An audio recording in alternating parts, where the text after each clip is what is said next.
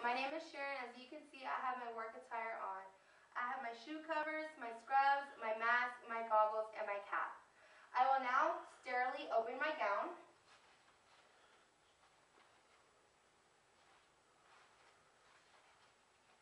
Now that that is open, I will sterilely open my gloves.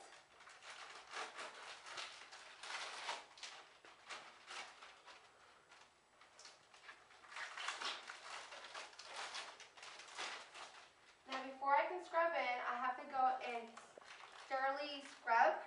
So you first begin by opening the package and there's a nail applicator within the package. You go and you clean underneath all of your nails. Then you clean your cuticles. Once you're done with the nail applicator, you throw that away and you begin scrubbing your fingers. You scrub each side of your fingers for 15 seconds. Once you're done with that, you move to the palm of your hands for 10 seconds then your arms, and then your elbows for 10 seconds. Once you finish with that, you rinse without touching anything. If you do touch, you're contaminating. You have to start all over. You can then walk into the OR, and as you can see, there's a green towel, and you reach for that sterilely.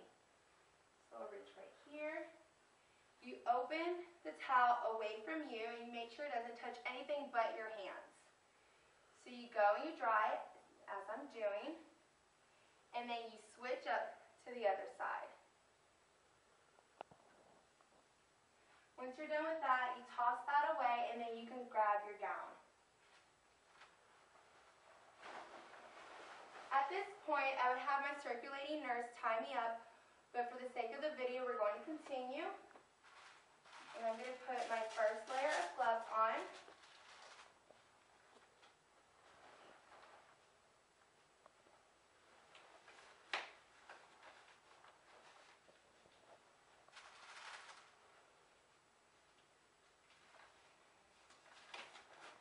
Now I'm going to go for my second layer. You always want to have two layers of gloves on just to protect yourself.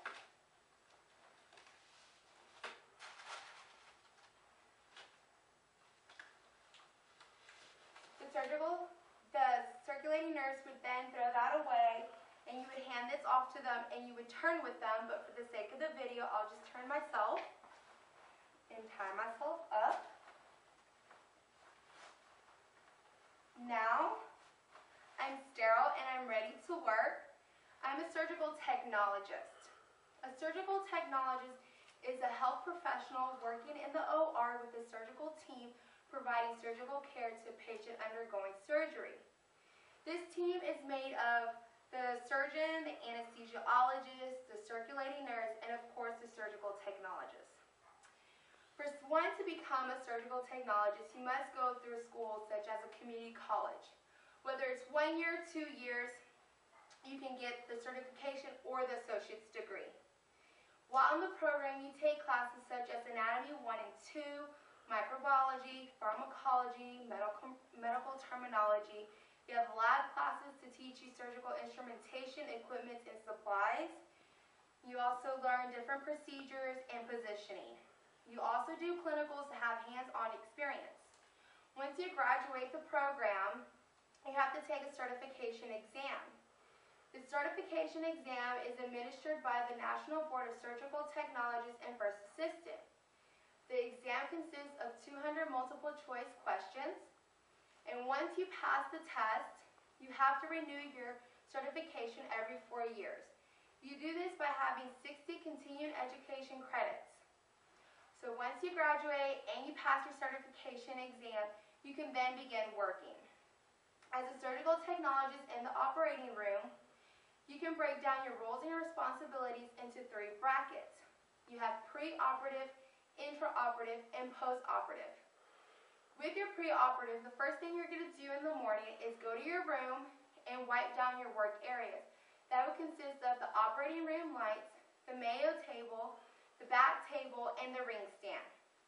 Once that's completed, you read to see what your procedure is for that day, and you gather all necessary items.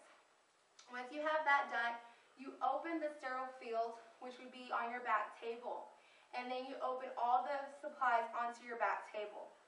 Once you have everything sterilely open on your back table, you then scrub and gown such as I did.